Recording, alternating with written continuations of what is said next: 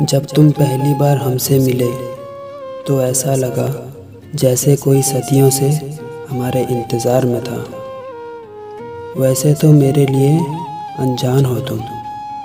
वैसे तो मेरे लिए अनजान हो तुम।